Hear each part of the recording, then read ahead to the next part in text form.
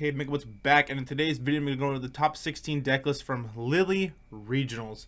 And I'm so excited to go over these because it's so diverse, and in my opinion, that's a sign of a healthy format. And coming from a person who played and started playing when ADP Zacian was the format, and playing Magic competitively when Hogaak ran the format in Modern, I love to see the signs of healthy formats. But before we jump into the deck list here, don't forget to leave a like, smash the subscribe button, drop a comment down below, ring those notification bells, and let's jump into these top 16 deck lists. Alrighty guys, and to start us off with our top 16 deck list, we have our 16th place. We have Lost Zone Giratina. I like Lost Zone Giratina a lot. It is probably my second favorite Lost Zone variant to play. Um, I don't know. Nothing too crazy about this deck. I mean, they're not playing Iono, and they're playing Temple of Sinnoh and Spiritomb in the deck. That's about it. Other than that, this is just copy-paste any other Lost Zone Giratina deck you're ever going to see. You can play one Cramorant and two Sableye, or two Cram, one Sableye. That's kind of just depending on the person. I play two Sableye, one Cramorant in my version. Um, you can play water energies if you want. I feel like at this point now you have to play water energies just because there's so many like baby Pokemon that you can KO with Greninja like early on in the game against other Lost Zone decks, against you know Gardevoir, Charizard. Like there's so many. Miraidon, if they put Mareeps down and they don't be able to evolve them fast enough, or even if they do evolve them, I guess you still KO because it's only 90. So like Greninja is such a good card. I feel like you have to play Water Energies if you're playing Greninja in a deck that can just power them onto it. That's my personal opinion. Um, I don't know. I like this deck. It's I'm, I'm not shocked to see it here. Lost Zone Giratina is a very good contender right now. Um, alrighty, so let's jump into our 15 deck list here. We have Turbo Lost Zone Box. Guys, this deck is like copy paste any other Lost Zone box, like turbo variant right now. I mean, you can play Clara instead of for Super Rod, but other than that, it's copy paste. It's the same thing. It all these lists look almost identical because Turbo Lost Zone box has been a thing now for I can't tell you how long. so seeing Turbo Lost Zone box up here does not shock me by any means at all. There are a couple decks in here that do shock me that they made it this far, but I love to see them here. Um, so yeah, nothing too crazy about this list. I mean, you got, you know, your two Sableye, your one Cram, your Raikou, your Dragonite. You play one Echoing Horn, you play your two Pokestops, so you can just kind of get things rolling. This person isn't playing Iono. Um, I personally would play at least one Iono or two, so I probably would ditch like a Lost Vacuum and go to three Rope just to add to Iono in the deck, or at least one in some sort of way. Just because Iono is such a good card, um, especially because if you're Roxanne's prized, you have no other outs to choke your opponent if Roxanne can't get online that turn. So that's the only thing I would change about this deck. But other than that, it's it's good. I mean, it's a good deck. All right, for our 14th here, we have Single Strike Lugia. You all thought it was dead. You all weren't believers. I'm a believer. I still play Single Strike Lugia to this day. I personally prefer to play Single Strike Lugia over Colorless Lugia. There, I said it. I I don't know. I like Single Strike Lugia more. It's in my opinion, it's more consistent. It feels just you can hit bigger numbers easier, and being able to just play Urn of Vitality and put Single Strike energies back into the deck can kind of help if you have to Single Strike Crush really early on, or mean you accidentally discard them or something, or your Yveltal gets KO'd, and then you can just Urn of Vitality, put them back in, put them on Stonjourner or Tyranitar. Unfortunately, this deck is really hard in the Charizard. It's really difficult for this deck to beat Charizard a lot of the times, just because Cobalion's like our only out, really. But other than that, I kid you not, this is almost identical copy-paste my list. The only thing different in my list of Single Strike Lugia and this person's list is I don't play Radiant Tsareena at all. Um, I play a fourth DT instead. I don't really worry about the rapid box matchup that much. We're kind of already favored in it anyway, and we usually can do pretty okay in the Lost Zone as well. Um, you can play Radiant Tsareena in it if you want, if you're going to expect a lot of like Lost Zone and you know rapid box. Currently, I'm just not playing it at mine because I haven't, I don't run into it that much, especially in like my local metas and stuff. I don't run into a lot of Lost Box or Rapid Box. So I'm not playing it in mine, but this is like every other single strike list right now, and I love it. So going into our 13th deck list here, we have another Turbo Lost Zone box, and this one is very different actually because we're running Squawkabilly, we're running Clara, we are running Super Rod still, we run Bravery Charm and Town Store. And the reason we went Town Store is so we can find Bravery Charm and Forest Sealstone. And the reason they run this and it's in this deck is because it helps you in your mirror match actually because for Town Store you can find Bravery Charm and then just put it on your Dragonite, and now your Dragonite is sitting at 270 hit points, and you're not really able to deal with it that much. And it's gonna take two turns for them to KO it unless they put like damage counters on it some point earlier in the game. So I like this list a lot. I personally would probably just cut the Collapse Stadium. Um, I don't know. I guess you also run the Collapse Stadium to get ready for Squawkabilly later on but I would really like to see like an additional energy of either lightning or psychic depending on which way you want to go. I don't really care which one, but I feel like the energies are very tight. You need to you have to get really lucky that none of them are prized because if you go like Raikou early on, then you're like attach lightning and then you can't get it back into the deck somehow. You're kind of just sitting there awkwardly with Dragonite, just like, well, I uh, didn't pull my lightning energy off my prize, and I can't do anything with Dragonite because I can't get the other one that I just discarded and lost back into my deck. So, I don't know. I also don't play Lost Box that much, so I could be entirely wrong about the thinking and process of this, but that's just my personal thoughts. Already. Jumping into our 12th deck list here, we have Gardevoir with Reversal Energies, this deck is i mean it's the same thing. It just it is. I mean Spiritomb a little different. We saw tord reklev i believe play it in his worlds list um, just to deal with mew uh, but you are playing mirage step reversals and it's just go big with zacian and baby gardevoir and just hit big numbers so love to see it gardevoir is gardevoir gardevoir does well it, you know the games are long they're grindy but if you can grind them out and win you can just kind of win 1-0 and then go to time the last game and not have to worry about anything. So Gardevoir is really good at that kind of stuff, and you can hit really big numbers and get punished for it very littly. Um, so I like to see it a lot. Alrighty, jumping into our next deck list here, we have Colorless Lugia, 4-3 split for Lugia. This is actually, I think, very similar to my list, except the only thing different is I'm playing one Luminous Energy and playing Wyrdeer. But this is like exactly what my list looks like for Colorless Lugia, actually. Um, I don't know. I love to see it. And it's just, I don't know. The deck's super good. It just, it is. Or no, sorry. I'm playing two Snorlax, and then I have two Therapeutic Energy, one Luminous, and then one Wyrdeer. So I guess mine is actually a little bit different by a couple other cards than I thought. Just re-looking at it here. I'm not shocked to see Colorless Lugia doing well. It's very good in the format right now. It has very good matchups against a lot of decks. Your hardest matchup is Miraidon, so and so single strike Lugia a lot of the times.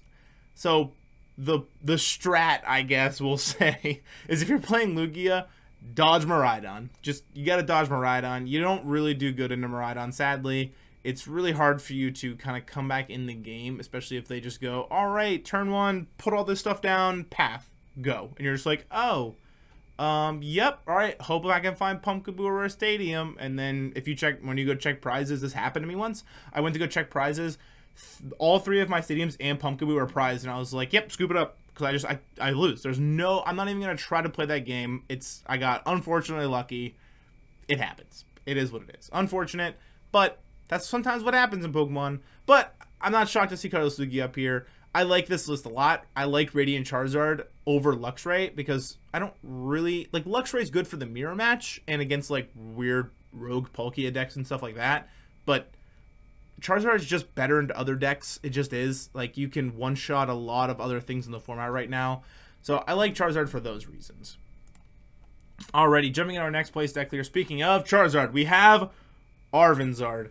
Um, Arvenzard's in a really cool spot right now. It got the new Charmander recently. You have your Entei V and stuff.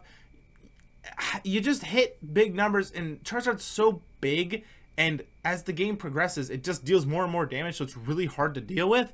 Um, I do like Penny in this list because you can pick up your Lumineon V that has Forest Sealstone if you can't get rid of it in some sort of capacity, or You can also just pick up like Entei if he's getting ready to get KO'd next turn. Just pick it up. And I love that. I think Penny is a good card, just like as a one up in a lot of decks. And a lot of people aren't playing it. I think they should be, personally. Um, I don't know. I think that Charizard sometimes gets a little greedy with her energies. In my list, I actually play nine energies. I play one Forest Seal, or sorry, I play ten energies. I play one Forest Seal Stone and two Lost City, and play ten Fire Energy because there was so many times where I was just like, I need like one or two more in this deck for this Charizard to be able to go this turn, and I don't have them. So I play ten in mine just because there was so many times where I was like, man, I just need the extra energy and I don't have them, and it was so frustrating. So I kind of move things around. I just play with 10 in my list. Um, but Charizard's here. Charizard's good. Charizard just does games, and you can Pidgeot, just quick search and find whatever you really want, and just find the extra pieces. If you're, you know, if you have Charizard EX in your hand, you're just like, all right, quick search, fire rare candy, boom. Like it's just, it's so good. And even Pidgeot's attack to be able to like discard a Stadium and play is still pretty good. It's pretty underrated in my opinion. I've used Pidgeot's EX's attack a couple times in a game to like discard path or whatever, and then just like two shot something. It can work. I don't entirely recommend if it can help it, but if you have to, you have to. Alrighty, going into our next place deck here, we have Fusion Mew. Fusion Mew, uh, Mew just does Mew things. I mean, guys, I don't know how else to say this. Mew's been a powerhouse since it came out in Fusion Strike, and it's going to go on a tear until it rotates. It just, they've tried to ban it, or sorry, not ban it. They tried to counter it. They've, you know, Drapion, Spiritomb, Path to the Peak. All these cards came out to stop Mew. We predict and we expected it to. However, the deck still lives. It plays Path in its own deck. Like, they don't, sure, Drapion's hard to deal with sometimes, but I mean, I don't know. You just play Grabber and put it in the bottom of their deck. like, it's just what you do. This list isn't play Grabber. Um, I don't believe Fusion Mew lists a lot of the times are playing Grabber. I think just the DTE version's playing Grabber. Um, I like Avery in this deck a lot, actually. I never played Avery in any any Mew deck I've ever tried out before. However, it does make a lot of sense. I don't like the trekking shoes in the deck at all. I I think it's just awkwardly placed in there and it doesn't make sense to me. Um, just like take out the trekking shoes and put in Judge or like an Iono or something. Like just put in anything else that's not trekking shoes. Like I'll be genuinely honest, I think trekking shoes in this deck is straight poopastinka. It's so bad and it makes zero sense to me. I don't know why you'd put it in here. But maybe this guy knows something that I don't know. I mean, I don't know. He's sitting here in what, like ninth place right now with Fusion Mew. So it is what it is. All right. For our eighth place deck here, we have another Gardevoir. I am shocked. We have Champions Festival in this deck, and if those that don't know what Champions Festival does, once during each player's turn, if that player has six Pokemon in play, they may heal 10 from each of them.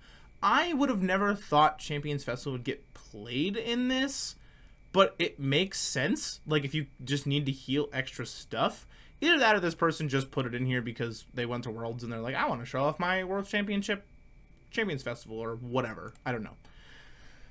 So it makes sense that it's in here.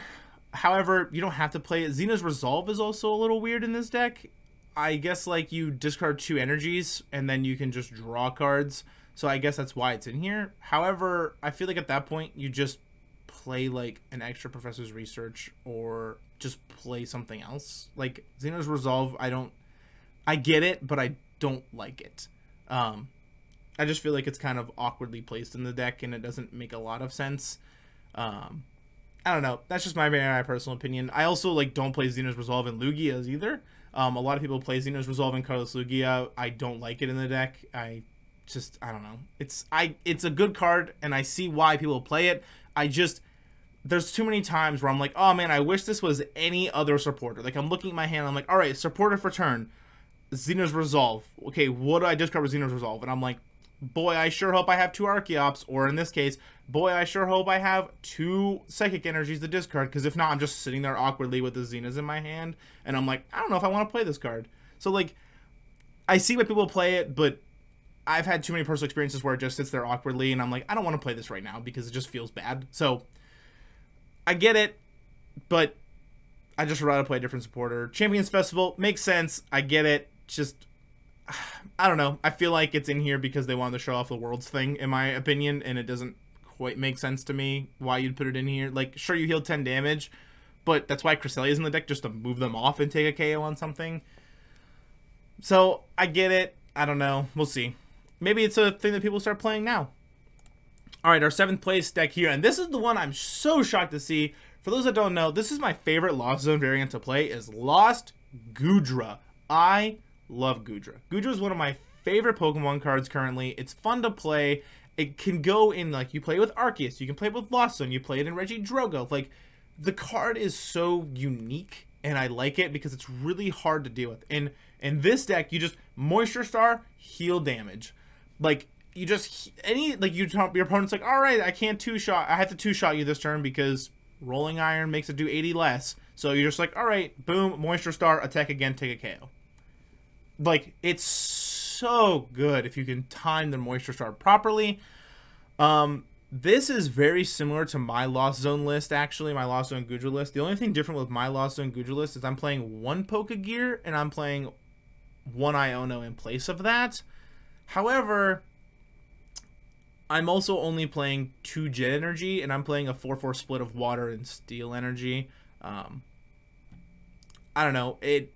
I like this deck a lot. I'm so glad to see Goodra making a comeback. It was very popular for a while, but it kind of fell off for a bit. And I don't know. I think it's just one of those like weird tier 2 decks that can just catch you off guard if you're not ready. You're like, all right, I'm playing against Lost Zone. You're like, all right, do this, do this. And then you're like, oh, metal energy. Okay, maybe you're just playing like Kyogre with Zamazenta in it. And then they go Goodra V, and you're like, okay. That's happened to me before where I'm playing against a Lost Zone deck, and I'm like, oh yeah, it's like Lost Zone Kyogre with Zamazenta in it. And then I just see them play Goodra V pass, and I'm like, oh, okay, that's, yep, this is different. So, you can catch people off guard with this deck a lot. Um, I don't know. I love Lost Zone Goodra. It's one of my favorites, and I'm so glad to see it finally get a decent finish at a regionals because it gets a lot of hate and it makes me upset. All right, coming into our sixth place here, we have DTE Mew. The only thing different about this list truly is we're just we're playing an addition we're playing more than you know two four seal stones a lot of lists play only two four seal stones and three grabber i it's it's dte mew like i said for the fusion mew Mew's going to be around. It's been around, and it's not going anywhere until it rotates out in a couple months, whatever, like six or seven months away from now. The deck is just, it's gone on a tear from start till now, and it's going to keep doing it. And it's just, it is what it is. So, nothing too crazy about this DTE list. I mean, other than, you know, three copies of Forest Sealstone, two Grabber. I would rather play three Grabber, two Forest Sealstone. But 3 4 Sealstone also makes sense as well. I get why you would play it that many because you want to really make sure that you can get it off and make sure that you can use your V-Star ability because it's the only V-Star ability the deck has that's able to use. So I definitely get it. All right, coming in our fifth place deck here, we have another Lost Zone Giratina. Just heavy Iono, or sorry, not heavy Iono, heavy Path of the Peak, two Iono, two Roxanne, just disrupt your opponent, go fast, play energies, and just Colress and get to seven as fast as possible so we can Mirage Gate onto Giratina and just start punching phase. A lot of people were playing Cross Switcher in a deck as like this as well. Um, I don't really like Cross Switcher in it. I'd rather just play the more consistent variant or the variant I'm currently playing where you have like a little bit of spice. Um, I feel like the four Cross Switchers is like way too much and it doesn't. There's I've tried it, and there's too many times where I'm like, all right, one is in the prize. Alrighty, got three in hand. I'm like, cross switcher this, take a KO, and then like I whiff on the cross switcher out of my prize, and then I'm like, man, I really wish I just had like an additional boss or an escape rope to get this thing out instead of cross switchering. That's just my personal opinion. You can play whatever you want to play or what you want to play in the deck. That's just me personally. That's what I would want to have in my Lost Zone Giratina list. But once again, not shocked to see it here. Lost Zone Giratina is a very good deck, is very popular, and it's very strong. I mean, Giratina V-Star is just an insane card, and we know that Sableye and Cramorant are just good. Like, Lost Zone has been a thing now for quite some time, and it's gone on a tear for a while. I mean, it won back-to-back -back regionals. It did really well in this one as well, and it probably will for the foreseeable future. All right, coming into our top four here, we have Colorless Lugia. I don't know. It's it's kind of very similar to the one that we had seen win Sacramento, I believe. Um, three Snorlax, three Lugia V, and a V Star. You play your Mew, your Wyrdeer, your Luxray for the mirror match with Reversal Energy. The only thing that I would potentially change is I might I would change the four Lugia V, but we all know why I always do that. I would go to two Professors Research and play one Penny. I think Penny is so good in any Lugia deck you're ever gonna play, and I feel like it should say that way. Colorless Lugia, it's not as good. However, it's really good in single strike Lugia, and I've had a lot of moments where I'm playing colorless Lugia that I do need that Penny to be able to just pick up my Wyrdeer or pick up my Drapion that I don't need in the active because that's what I started with in the game. So I like it a lot for that because it's not just a like free two prize for my opponent that I can't move out of my active spot. So for those reasons, I like Penny and Lugia a lot, but I also understand why people don't play Penny in it. I get it, um, especially in a best of three format. I'm very still used to best of one currently because I haven't really played in any regionals or anything, and I haven't made top cut at a League Cup yet. But we will see eventually. I think my best finish so far has been like fourth place at a league challenge. So we'll take it. I guess and I've also like I won Scarlet Violet, Paldea Evolved and Obsidian Flames play releases back to back to back. Um, and then I just played in the Paradox Rift one last night and went 3-1. Scrubbed that against a guy playing Iron Hands. It was unfortunate. He just had like the hand and I couldn't do anything about it. Um, but moving into our third place deck here, we have Chien-Pao Baxcalibur it's Chien-Pao Excalibur. It's Rare Candy, or yeah, Rare Candy on a Baxcalibur, Radiant Greninja, Jam Energies onto the Baxcalibur, Cross Switcher up, Manaphy, Canceling Cologne, take two prize. Hopefully do it again next turn. Boom. It's just, I don't know. I've even had plays where I go, all right, bring up Badoof, hit this, hit that. Like, and just hit Frigibax or like the mirror match, I've gone like Badoof hit your Frigibax, your lone Frigibax, and then they just concede to me because I not only did I destroy their launch, but I their draw engine for next turn, and I destroyed their only Frigibax. Now I'm up two prize. So for that, I like it a lot. Pokestop's really good in this deck as well. Um, I don't know. Chien-Pao, Chien-Pao is proving itself to be a good deck and a competitor. Sometimes your brick hands are really bad and it feels awful. However, the turn the games where you can just get two prize off of Greninja with the canceling cologne combo, you're pretty far ahead. And if they have no way to like boss up Chien-Pao or anything or KO your back they're like, okay, I'll KO your Greninja, and you're like, okay, um, super rod it back in, nest ball, grab it, do it again. Or you just go like Chien-Pao, take out a big two prizer, go up two more prize. So I understand why Chien-Pao's doing really well for a long, this, a long, the longest time, I was not a believer in this deck. I did not think that Chien-Pao was going to be good. I thought it was straight up a pile. I thought it was really, really bad. Um, but it's proven itself to be good. I don't. This is starting to seem like it might be the optimal way to play Chien-Pao. We'll have to see, guys. We'll have to see truly. All right, going into our second place deck here, we have Turbo Lost Box coming in second place. I like this deck a lot. I like Ditto in Lost Box because it's basically a fifth Comfey essentially, and I love that. I also like Beach Court a lot in the deck because it gives you that free retreat out of your Comfeys, your Sableye, your Cramorant, your Greninjas, and your Raikous, and even like your Manaphy and Spiritomb if you have to. The only thing you can't retreat out of is Dragonite, but if your Dragonite's stuck in the active and you had to start with it, that's just unlucky. Truly, it just is. Other than that, this deck is really good. I mean, it's, it's, even playing the Canceling Cologne combo with Radiant Greninja. It's playing the four cross switchers in the deck to be able to pull that off. It's a very, like, hybrid Turbo Lost Zone deck, I would say. Um, there's a lot of stuff going on in this deck, and a lot of things you can potentially do if the things are given to you in the right order. Um, and if they're not, then you're just like, all right, Get to four, Cramorant. Get to seven, Mirage Gate under Raikou. Boom. Or get to ten, start with Sableye. Like, I understand it and I love it. And this deck looks like tons of fun to play. And I genuinely might try this. I do not expect to do well with it because I'm just not good at lots of decks, unfortunately.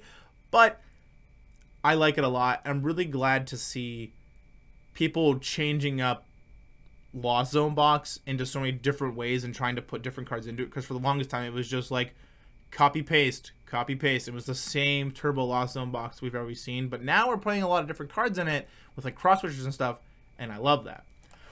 All right, I'm not gonna spend too much time on this because I've said it so many times. Mew is Mew. First place, I mean, it's Fusion Mew with trekking shoes and Avery. I still am not a believer with the trekking shoes in it. I just, I don't get it.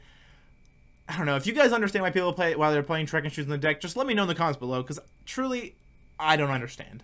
However, this person did win with it in their deck, so maybe I'm just not seeing something or understanding something that they understand, or maybe they're just they just play Mew a lot, and I don't really play Mew hardly ever. Um, but it's just DTE Mew with, I mean, sorry, Fusion Mew with a couple DTE energies in it, Path of the Peak, just go fast, draw cards, disrupt your opponent with Avery and Roxanne, and just, just go. I mean, you just try to go fast and just start taking knockouts early, and just drawing a bunch of cards and just you go. Mew is Mew. Mew does Mew things, and I will say that for the foreseeable future until it rotates. Mew is Mew. Mew does good things. It just it has and it will. Alrighty, guys, let's jump in to that outro. Alrighty, guys, and those are our top 16 deck lists from Really Regionals. If you haven't yet, don't forget to leave a like, smash the subscribe button, drop a comment down below, ring those notification bells. If you went to Lily Regionals, what deck did you play? Where'd you place? And if you didn't go, what deck would you have played? Personally, I probably would have played Single Strike Lugia. I kind of like dropped colorless Lugia for a bit and picked up Single Strike again, and I was starting to feel a little more confident with it.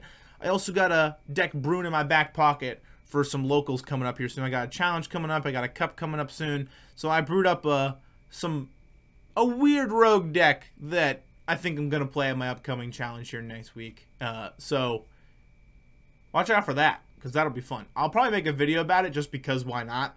Um, but I don't know. I love to see there are so many different deck lists in top 16. I mean, we're the only big deck we're missing really was like Miraidon, but even then, like Miraidon was still there and it still made like top 32 and stuff. It's still a good deck. It just had a bad run at this tournament, unfortunately. Like we have sing we had single strike Lugia making a comeback. We have lots of Goodra making a comeback. We have like Fusion Mew, DTE Mew. We have different Gardevoir lists. We have like so many like Arvenzard's up there. Like there's so many different decks right now that you can play and take to a tournament and do well with, even like locally, right? Like, and I love that because it's kind of a healthy format, and it makes me so happy to see that. Truly, it does. Alrighty, guys, I'll see you in the next one. Peace.